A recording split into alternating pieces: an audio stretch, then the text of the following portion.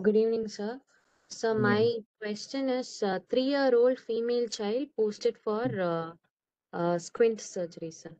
Squint surgery. Okay, I will Yes. uh, show you the questions for that. Yes, sir.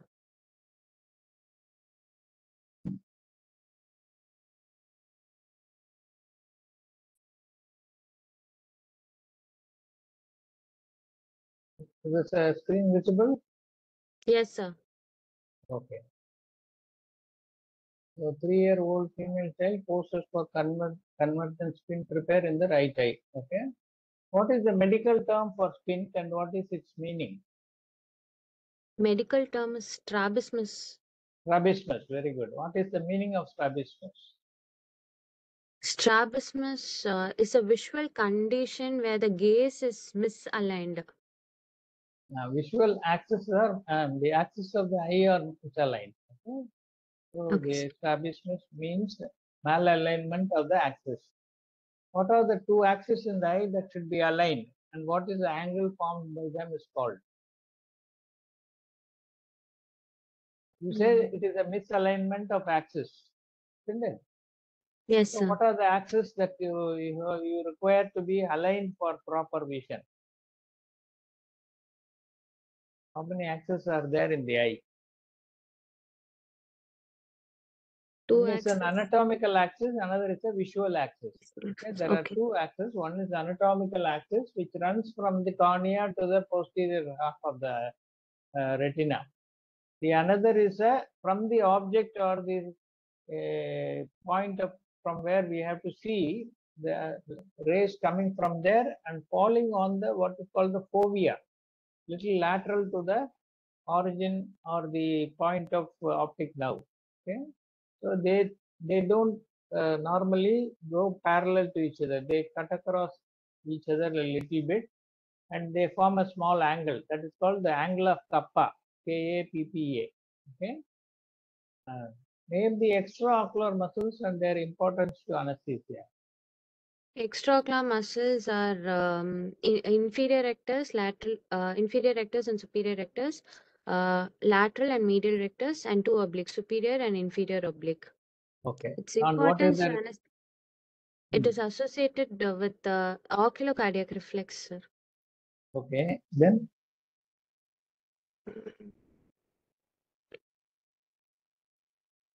what do they form by their uh, origin and insertion over the globe? They they are attached to the eyeball or the globe, and they go and get attached to the posterior part of the uh, the orbit, isn't it? Yes, sir. So these muscles, what do they form to hold the globe in position?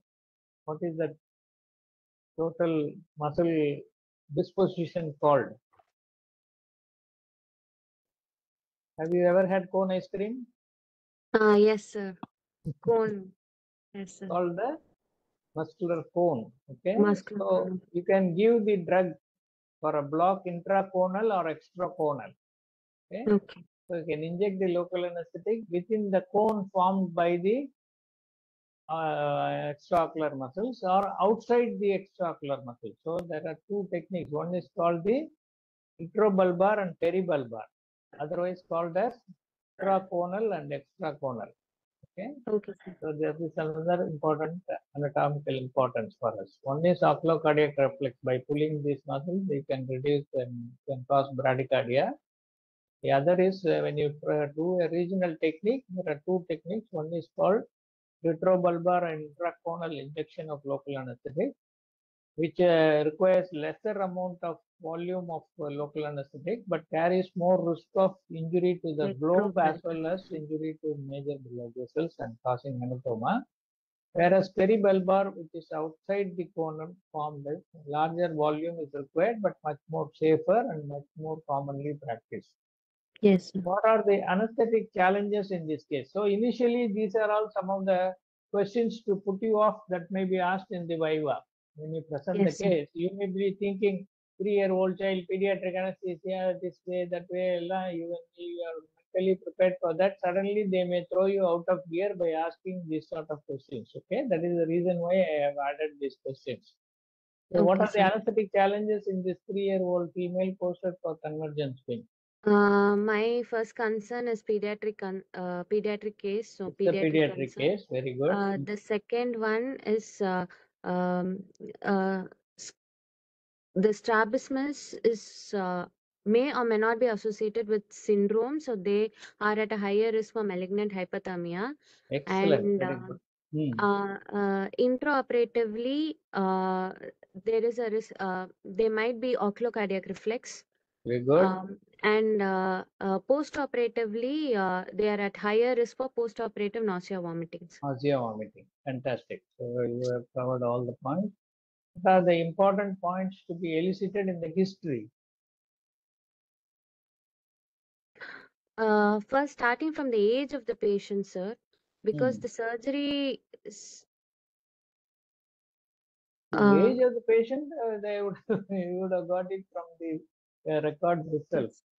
So you Uh, don't uh, ask it as a history how old their patient is. isn't it? yeah. Um, so You said- mentioned about birth, some low syndromes and weight. uh, malignant hyperthermia. So would you like to ask any questions regarding to that? And avoid some drugs. Uh, so we should ask for any syndromic features, sir. Hmm. Uh, uh, then uh, uh, natal any history, family like history of malignant hyperthermia. Okay, any relative or somebody who Mhm. underwent a surgery, did they die and if they die of a high temperature and all that, history can say, or any associated musculoskeletal problem because the symptoms are all mostly uh, genetic problems with the musculoskeletal injury. So that also the, so that may pose a, the airway difficulty or a possibility of malignant and describe the intraoperative management of this child. After eliciting the history, uh, supposing you find the child is otherwise fit, uh, CVS, RS, everything is all right, no LRI, no URI, child is uh, hemoglobin is normal, weight gain is normal for the age. What should be the weight, ideal weight for this child? Three years old. into Last 2 week we plus 8, discussed. 14 Huh? kg, sir. Into 2 plus 8. Age into 2 plus 8. age into 2 plus 8. So 14 kg, the 14 weight is kg. there. Okay, Very good. Hmm. So how do you manage this cooperative? What are the pre-op instructions you will give the parents and what any pre-medication you want to give? Sir, Is it an uh, elective procedure or NPO an status I will explain to the parents and uh, uh, uh, pre-op medica- pre-medications I will give anticholinergics, uh, Hmm. glycopyrrolate 0. Point, uh, glycopyrrolate is 0.01 milligram per kg. Hmm. Instead of that, you can say in micrograms. That is much more easier than 0.019 milligrams. Uh, Always, 5 whenever the dose is very small in pediatric, always say it in micrograms instead of milligrams. Okay. So it may be 10 micrograms, 20 micrograms. That is much more easier to calculate. Okay. Yes. Hmm. Right. So, any uh, will, will the child have separation anxiety? Three years old? Uh, yes, sir, Because Yes, because definitely it will have. It yes, will not come to you easily. So, for what sedation you prefer to give for this child? pre-med either oral midazolam Hmm. Or uh, another uh, thing I told you about uh, cleft lip and cleft palate or the pediatric cases we discussed in the last class. I told you about a very good uh, oral preparation which has an anti-emetic property, anti-allergic property, bronchodilator property. Energans. cyclophos. Phenothiazines, uh, phenothiazine group of them. Phenergan is also a very good choice for these pediatric cases. Okay, right. Hmm. And uh, NPO according to the guidelines.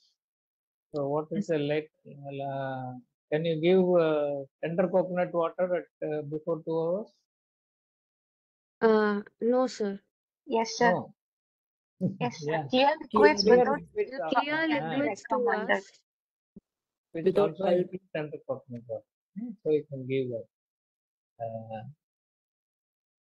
and uh, what about uh, uh, Would you do it under a regional block or would you like to give GA? Sir, uh, my case is a three-year-old child, so I will prefer under general anesthesia, sir. Ah, so the child will not cooperate for regional Cooperate for technique. You cannot give a cerebral bar block and do it. In adults, you can always do it under regional technique like cerebral bar block. But child will not tolerate or cooperate, so you have to give GA. So how are you going to give GA? Uh, supposing your child is uh, already pre- pre-medicated with uh, oral midazolam, child is sleeping, uh, would you like to inject glycopyrrolate IM or would you like to go for some other method of induction? Uh, glycopyrrolate, uh, I'll give IV, sir. Huh. IV line, how are you going to use an IV Mm. line without stimulating the child or making the child cry? Sir, under uh, sevoflurane, if the Mm. if the child is crying, I will do Without it under making the ca- child unconscious, can you secure a painless IV insertion? yes using emla cream, sir. Emla cream. So then you can always think of that. Very, very important. Okay, so you can Yes. start an IV in the ward itself using Emla cream, and then use uh, glycopyrrolate and other induction agents through the IV line itself and then go for IV induction, which is much more easier.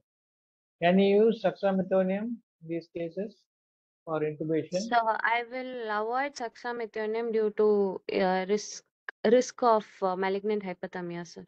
Is that the only reason, or is there any reason specific to this particular case of strabismus correction? Sir, uh, it uh, prolongs the tone of that uh, extraocular muscles, so Hmm. the surgeon will not be able to differentiate when he's performing the force duction test. Very good, fantastic. So it is better not to avoid, better to avoid such a go for non-depolarizing muscle relaxant straight away for intubation. So would you like to use any specific type of endotracheal tube for this surgery? I will prefer uh, RAE tube, sir. RAE tube, oral RAE tube. Okay, Oral specific yeah, oral RAE or pole tube for so that it will not uh, interfere with the surgeon's work. Okay, sir.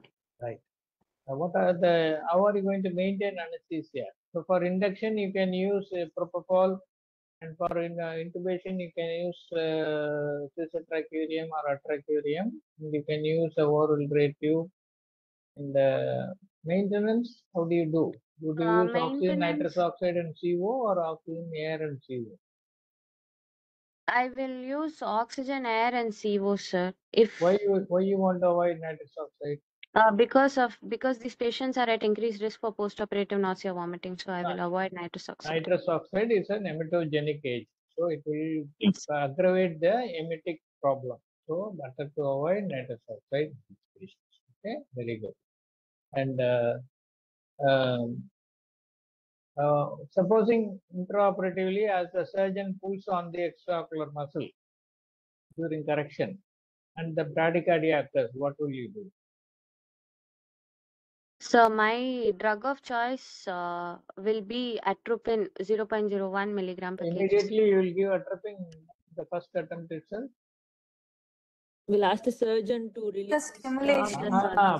First, ask the surgeon to stop. Wait for a few minutes. Ventilate. See whether the heart rate reverts back to normal from bradycardia. Then ask him to proceed again. If again it goes back to bradycardia, ask him again to stop. The repeated stimulation itself will abolish this uh, cardiac reflex and heart rate will remain steady. Only in conditions where the heart rate becomes very low and there is an imminent cardiovascular collapse in the form of hypotension, then you have to use atropine and also start CPR. Okay, so that is the answer that you have to give. So the stopping the stimulation in most of the times will abolish this reflex and patient will behave normally with a normal heart. So don't say atropine as the first answer. Okay, Okay. stop the stimulation is the first answer. Then continue after a few seconds or minutes and then watch and observe. Atropine is indicated only in very severe degrees of bradycardia associated with total cardiovascular collapse in the form of hypotension and desaturation and all these things. Okay. Yes, sir. So what is the uh, reflex arc for this uh, uh, oculocardiac reflex? What is the afferent path? What is the efferent path? So afferent pathway uh, is uh, via the uh, long and short ciliary nerve. They are taken to the ciliary ganglion, and uh, by the ophthalmic division of the trigeminal nerve, it relates to the sensory nucleus of the vagal nerve is the efferent, the vagus nerve uh, to the SA node, sir. Very good. What are the uh, other intraoperative, of course, anticipated one is uh, oculocardiac reflex. Why any other reflex is there?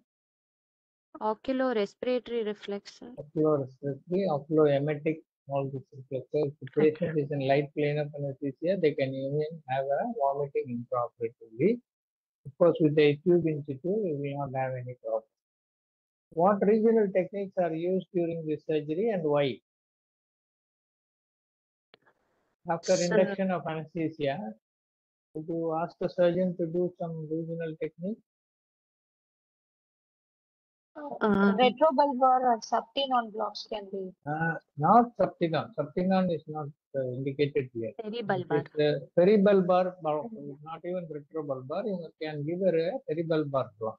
Okay, with just a two to three ml of uh, local anesthetic agent will nicely give good intra and post-operative analgesia so that you can avoid opioids which will may aggravate the nausea and vomiting post-operative. That is the reason why you prefer to add a regional technique.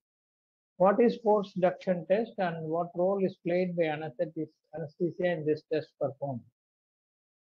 So in force duction test is used to assess the mechanical restriction to movement of eye by move, moving it into each field of gaze. It is done by the surgeon by grasping the sclera near the corneal limbus uh, Mm. by a pair of forceps. So this test allows the surgeon to differentiate between uh, uh, a paretic muscle or um, a mechanical restriction which limits the eye movement. What is Bell's sign and how does it interfere with surgery? Bell sign, uh, it is a protective reflex on stimulation of the cornea. There is upward, uh, upward rolling of the eyeball. Very So good. it means there is uh, inadequate plane of anesthesia. Very good. Hmm, So we have to deepen the plane of anesthesia. Excellent. What are the post of problems and how they are managed? So my concerns for this case will be post-operative nausea, vomiting. I will manage it by antiemetics like ondansetron 0.15 milligram per kg or dexamethasone 0.1 milligram per kg. And post-op pain is managed by uh, opioids with fentanyl or alfentanil, sir. Opioids you want to give? It's a, you just now you said you want to avoid uh, vomiting. So to NSAIDs give Ah, paracetamol paracetamol is 20 more milligram per kg. Okay, Yes, sir. so that is the thing. I'll just share a quick uh, PPT